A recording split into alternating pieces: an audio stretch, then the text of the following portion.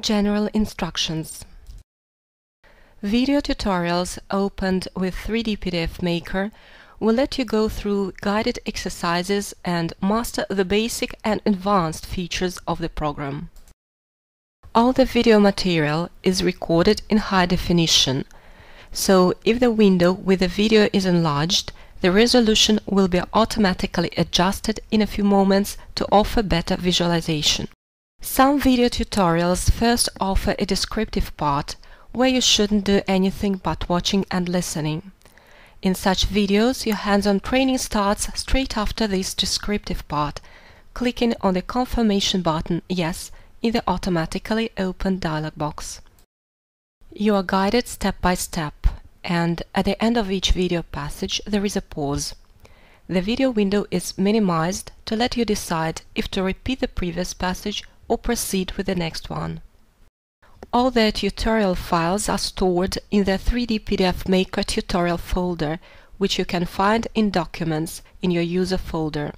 To easily find them, go to Libraries, Documents, 3D PDF Maker Tutorial. If you need only tutorial PDF files, you can open them directly from the initial 3D PDF Maker dialog in the Examples pane. At the end of each video tutorial, to close the PDF file and turn back to the initial 3D PDF Maker dialog window, click on the red X box at the top right-hand corner. Let's start right away with a brief exercise and learn to activate 3D model visualization and expand the 3D toolbar in Acrobat Reader. In 3D PDF Maker, in the Examples pane, click on Tutorial and open the file autoyellow.pdf. Click on Show Preview with Adobe Reader.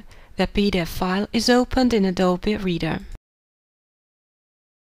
If Acrobat Reader hasn't yet been enabled for 3D model activation, clicking on the model area, you will see a yellow toolbar prompting to activate the 3D content.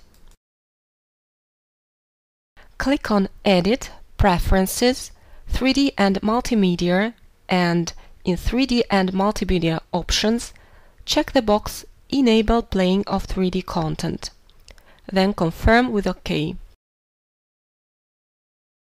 From now onwards, your Acrobat Reader will be enabled for 3D model visualization. Now click on the 3D model area, then on the icon on the left in the yellow toolbar. The 3D toolbar becomes visible.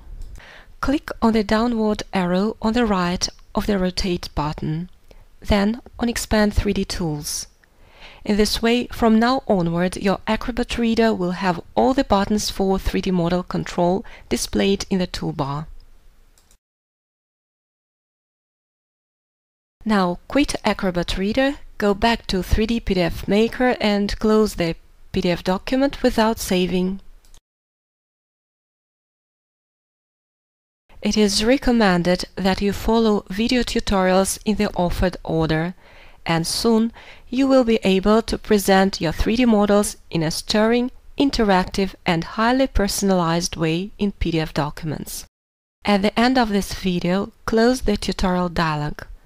You will be able to get back to it at any moment by clicking the corresponding button of the toolbar.